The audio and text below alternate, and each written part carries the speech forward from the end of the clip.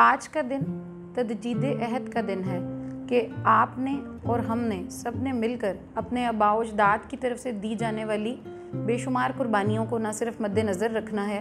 بلکہ ہم نے اپنے حصے کا رول پلے کرنا ہے۔ اور وہ رول کیسے پلے کر سکتے ہیں کہ جب ہم میں سے ہر شخص محنت، دیانتداری اور لگن کے ساتھ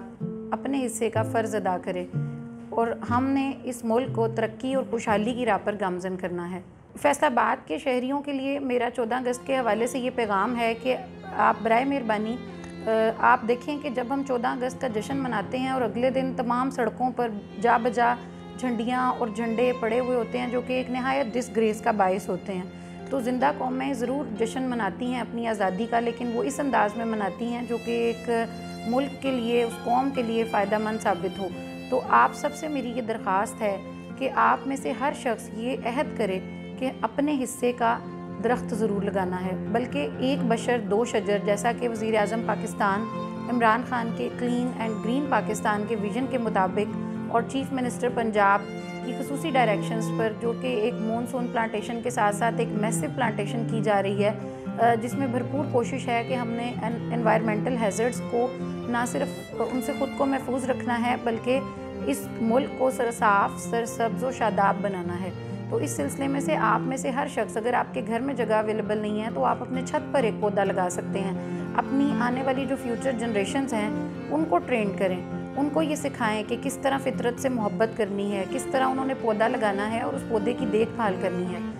جو کہ آنے والے دنوں میں یقیناً ایک تناور درخت بن کر سایہ فراہم کرے گا۔ پی ایچ اے فیصلہ آباد کی جانب سے میسو پلانٹیشن جیسا کہ آپ نے دیکھا کہ پریویس ڈیز میں کی گئی ہے اور میں یہ سمجھتی ہوں کہ یہ ایک بہت بڑا کنٹریبیوشن ہے۔ کیونکہ آپ دیکھیں کہ سات اگست کو پلانٹ فور پاکستان ڈے منایا گیا جہاں پر ایک سمندری روڈ پر لوکیشن تھی جو کہ پہلے کوڑے، کرکٹ اور گندگی کا ڈھیر تھا۔ تو P H A horticulture team نے نہ صرف اس کو انکروچمنٹ سے آزاد کروایا، بلکہ اس پیس آف لینڈ کو کنورٹ کیا ایک صاف، سرسبز و شاداب پیس آف لینڈ میں، کہ جہاں پر ایک میسو پلانٹیشن کی گئی، سات ہزار پودے لگائے گئے۔ اس کے ساتھ ساتھ مختلف سائٹس پر ہماری جانب سے پندرہ ہزار پودے لگائے گئے، جو ایک ہی دن میں یہ ٹارگیٹ اچیو کیا گیا۔ جو کہ میں سمجھتی ہوں، ادارے کے لیے ایک بہت بڑی کامیابی ہے۔ اس کے ساتھ ساتھ جی چودہ اگست ہم نے اس انداز میں بنانے کا سوچا ہے کہ ہم نے اس پورے منتھ میں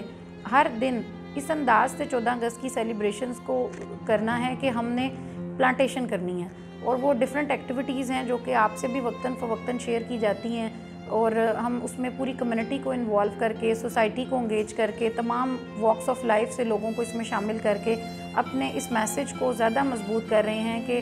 ہم نے اس ملک کو صاف، سرسبز اور شاداب بنانا ہے۔ فیصل آباد ٹی وی کے یوٹیوب چینل کو سبسکرائب کیجیے اور بیل آئیکن بھی پریس کیجیے۔ اب بولے گا فیصل آباد۔